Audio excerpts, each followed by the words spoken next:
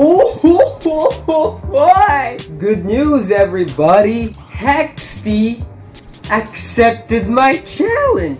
I challenged him to a fight. And he said, yes, he will fight me.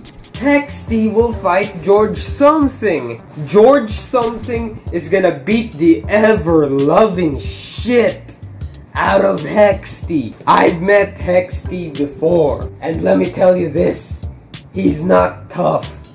He's not a fighter.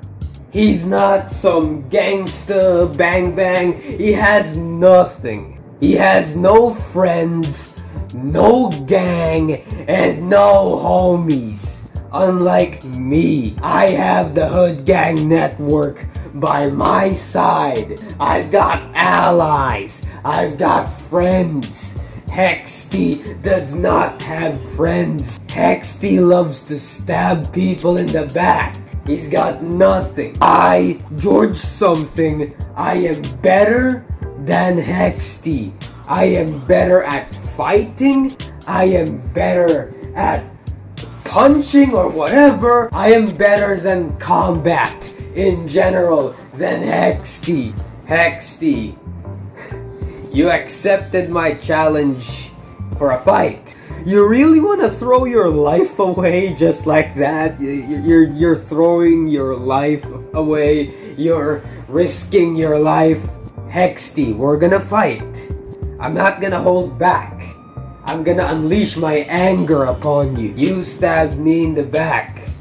You took my dream away from me. Something I worked my whole life for.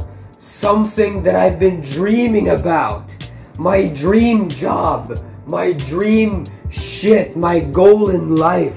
You took it away. He's trying to stop me from reaching my dream. And now I'm gonna stop you from living. I hope you're ready, Hexty. I'ma open up a can of whoop ass on you. Hexty, you're going down, man. And George something. George something, my man. George something, he's going up. George something will prevail in this fight. George something will win. George something is gonna kick Hex DMT's candy ass. It ain't nothing if it's from George something.